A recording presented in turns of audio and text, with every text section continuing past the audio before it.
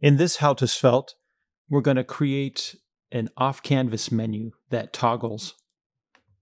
Click it to open it, and then click the X to close it. We'll also consider uh, using this full screen version 2. So we'll tackle both all in this one lesson. Let's go ahead and grab some of this HTML.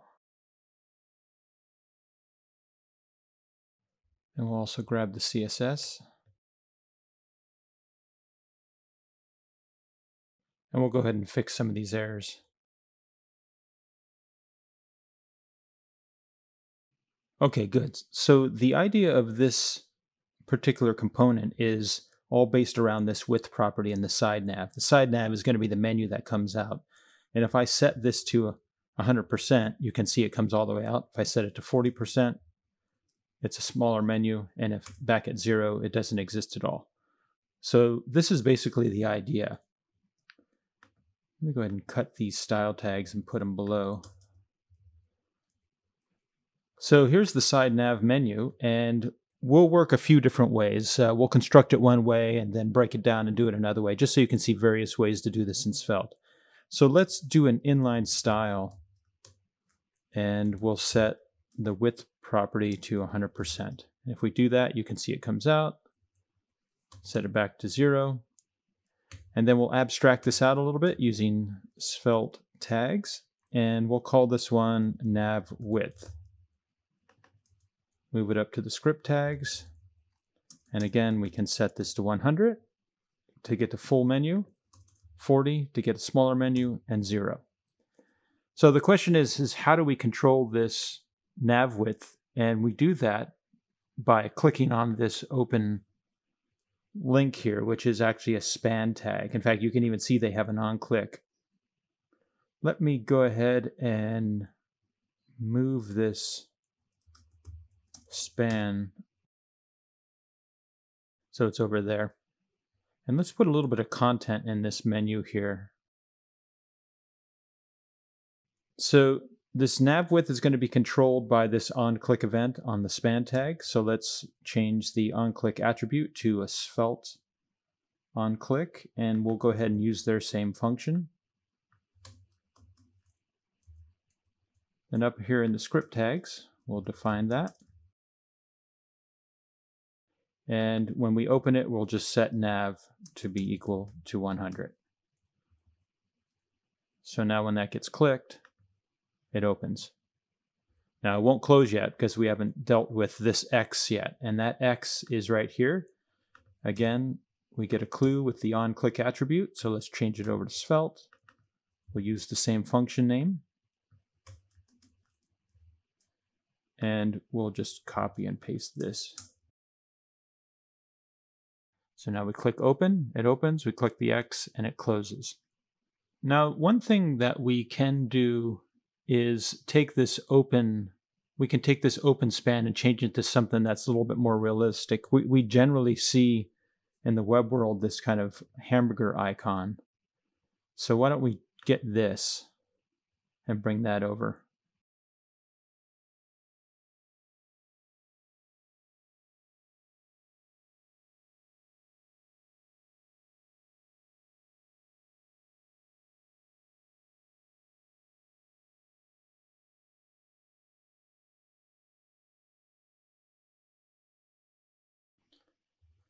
Okay, good. So now we've got the hamburger icon here and we click on it and nothing happens yet, but let's go ahead and take the same functionality we gave to the span tag and we'll just move it on over to this container which already has an on-click attribute. And so now if we click it, it opens and it closes. Now if I set the open to be 40 instead of 100, you can see when we click the hamburger icon, um, it's not entirely doing the behavior that it should. If you come over here and we click on this, you can see it changes to an X. Click on it again, it goes back to the hamburger. So when we click on it, what's happening is there is a class being added called change. And you can see change uses a transform to rotate certain divs. It sets one of the divs to opacity zero.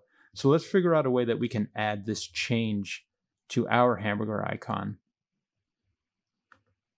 We'll do that in this area. So if I add the class change now, let's see what happens. Yep, it changes into an X. So that is the thing. So we just need to add it on certain specific conditions. And that condition is we'll add the class change when some value evaluates to true. And we'll let's go ahead and make a variable called nav open. Now we haven't declared this yet, so we'll do that. We'll say let nav open equal false. And if we say true, what happens? Yep, when we set it to true, it turns into an X, and when we set it to false, it goes back.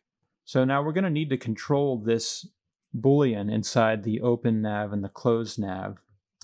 So we'll set open nav, we'll assign it to the opposite of whatever it is.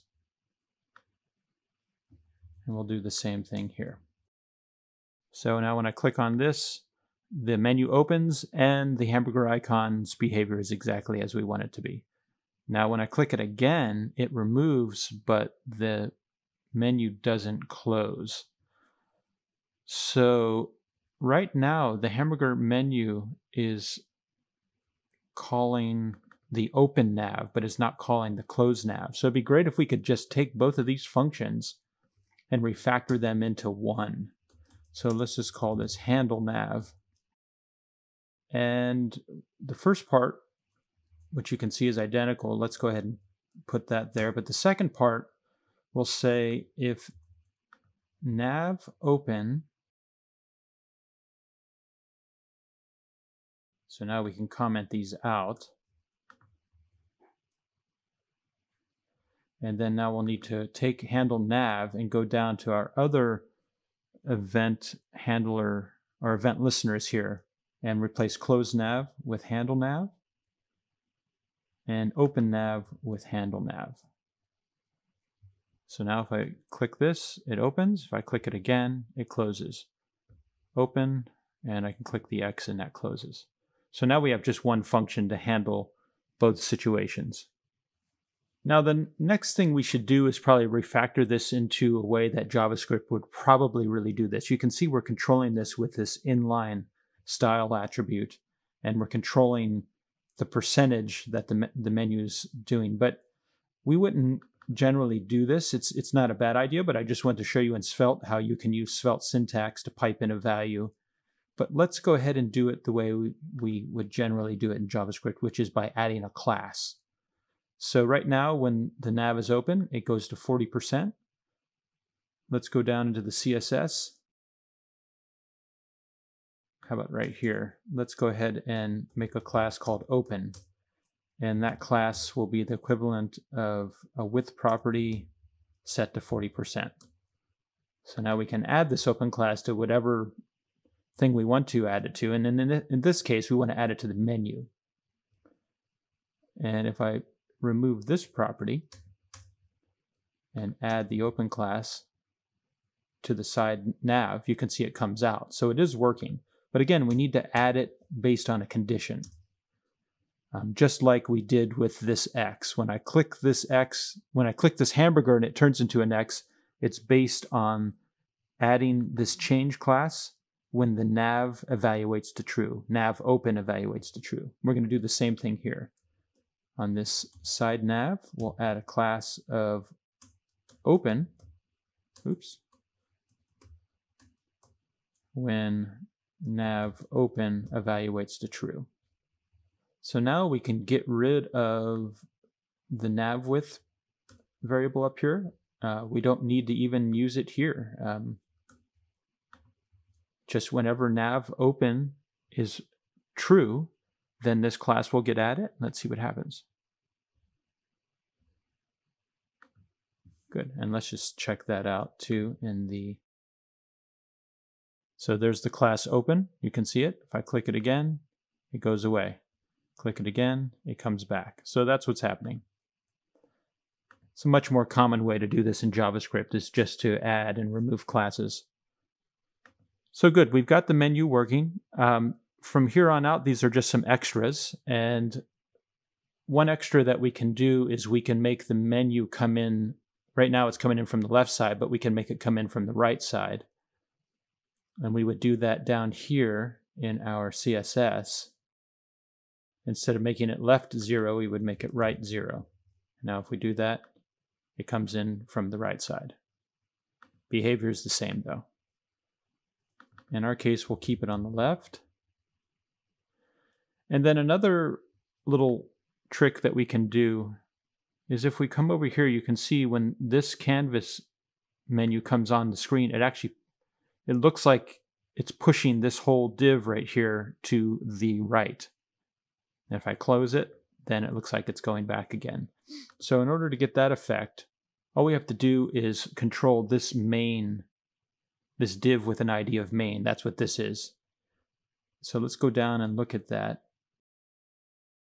And if we give it a margin left property of the same value that we're opening the menu of 40%, see what happens? It pushes over by 40% by the same amount up here. And again, we can do that with a class.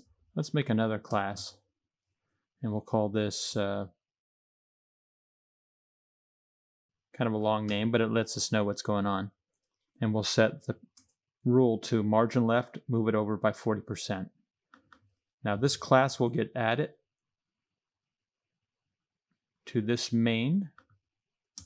So we'll add this class, push main to right when some variable, something evaluates to true. And what is it going to be? It's going to be the exact same thing we've been using when nav open evaluates to true. So now when we open it, this main gets pushed over. Close it, goes back. And then the last uh, extra I want to show you, which you know you may or may not use, but it's still good to ha have some practice using this in Svelte, is let's just say we want to set up a situation where we can use our keyboard to close the menu. In that case, we would set up this Svelte window, and we would say on key down, and then we'll call a function here and we'll we'll call it handle nav with key. And we're going to need to pass in the event object. And we basically want to say if uh, the event object um, code property is equal to, you know, what I'm going to do is I'm going to set up the F1 key. F1. So if we press the F1 key, then let's toggle nav open to the, its opposite value. And I tell you what, what we're also going to do is console log what e.code is so we can see if it actually is working. So you, you see I pressed F1 and it opened. I press it again and it closes. I can still use the icons and again I can use F1 to open it and close it. So, a little trick you can use if you want that ability. Okay, that wraps it up.